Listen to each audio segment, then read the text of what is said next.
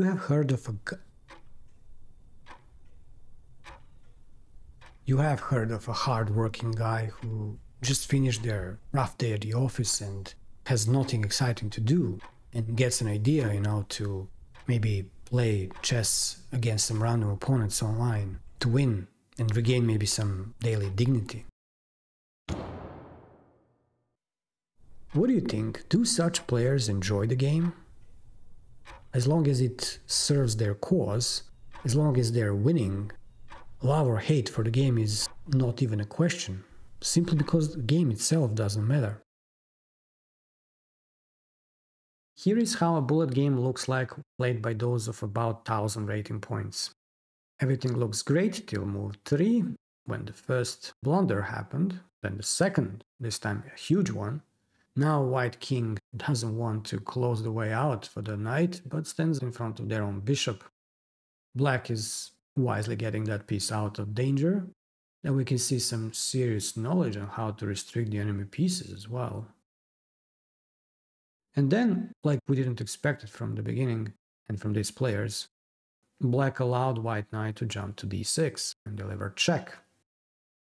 Now white is getting their rook back, but fortunately there was basically no need to do that because black resigned out of their probably disappointment. But uh, what could you expect in a bullet game? You're basically a beginner and you cannot really calculate even one or two moves ahead with even more time on your clock.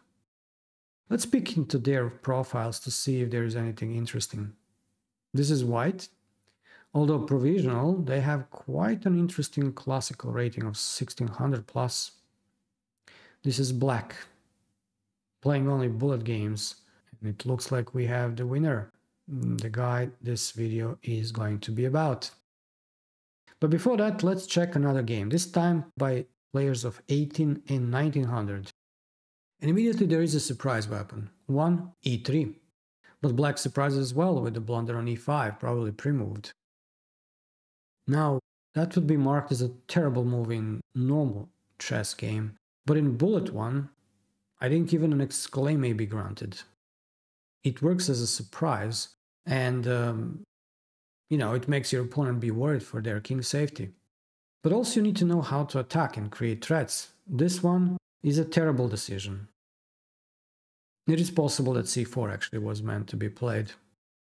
We'll just take a quick look, but overall this game is full of nonsense as you can see and practically every move is a huge blunder. We'll discuss what one gets from playing this kind of games, but before that, again let's check these guys' profiles. So here is white. We can see some success with bullet and less success with blitz. Seems like they are getting worse and worse as the time for thinking increases. So they stick, I guess, with what gives them best results. And this is black, similar situation. Flat line when it comes to making any progress. Now, when someone just keeps playing and winning because, you know, it provides an instant affirmation and joy, often they do not have any complaint, any questions. Everything seems lovely, you know. But when they lose, a question like, why I'm so obsessed with bullet seems to appear. We like bullet because we don't want to invest our time and energy in this chess thing. And above all, we can play and win more than just one game in a short time range. And then they ask again, how many games did you play until you felt like you were good? Now this how many games until, and then something, sounds like how many miles more until we are home? Chess as a mean, as a burden? I think you, you better quit then. Chess is a journey, and if you keep using it as a mean to feed your ego, basically, sooner or later you'll quit anyway, and even admit that you have never liked it even. Being good at chess is really cool, but you know, I cannot see that people play chess only because they are expecting to become some kind of chess giants. You know, to be completely honest, I do not have such aspirations at all. I mean, I like to win, but there is not such a goal set like uh, becoming a GM, IM, or anything rating related. I play because I like the moves. I like the art of piece coordination And that's what makes me excited to explore further this game. Now, if you don't have that pure interest in chess, better ask yourself again do you really need it? And here is another funny question, or sad, depends how you look at it.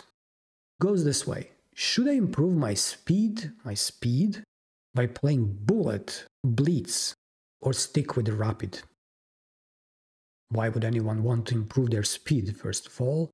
And then by being able to understand your own position, your own needs, and the needs of your opponent, your speed of finding good moves also improves. Those badly posed questions are basically indications that many of those who play chess do not really enjoy the game itself.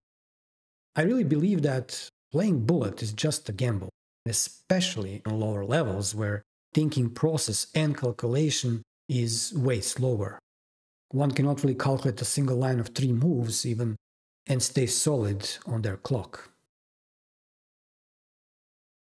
You know, coaching all those players from beginner to the club level, I feel pretty comfortable claiming that bullet chess is practically not related with any of those typical chess strategies. In fact, it can severely harm one's progress.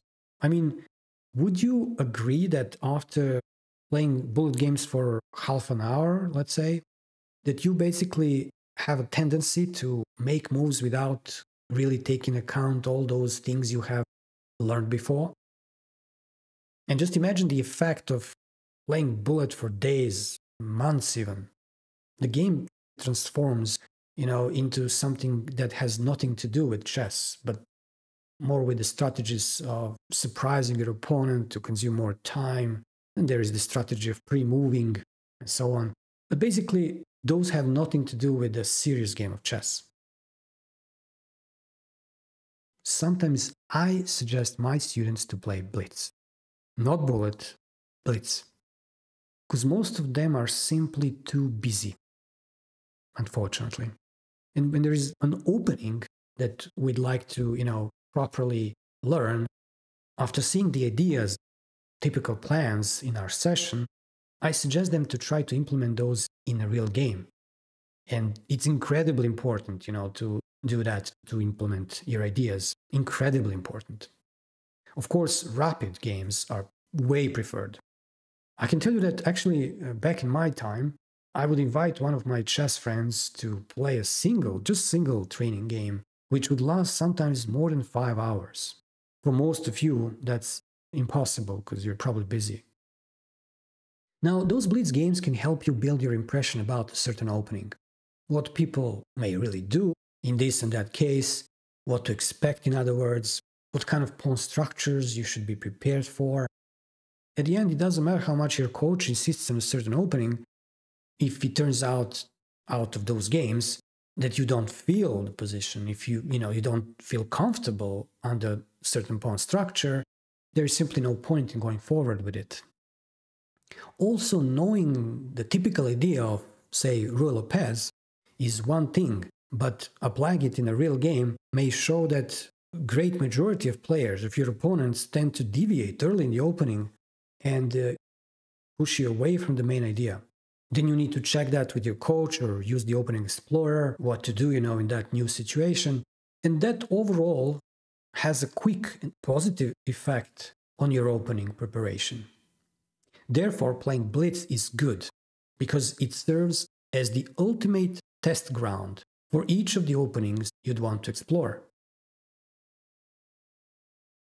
If you are an adult improver or a young chess player trying to really learn to play and understand the game, obviously there is no benefit in playing Bullet. Playing Blitz may be helpful, but you should be at the level where preparing new openings really is an appropriate thing to do, which means you are by that time at least an intermediate level player. However, playing rapid games with an increment is always going to be a quality solution for every improver with a limited time for chess. I don't know if anyone is still here because, you know, I'm not showing the tricks to win in three or four moves, nor any shortcut of how to become a GM in three months. But if you're still watching, feel free to leave a comment and share, of course, if you think the message is worth sharing. And before you go, check this diagram taken from the Lichess database, layer database. I guess you won't be surprised by the data, but still, I think it confirms a certain symptom this video is about.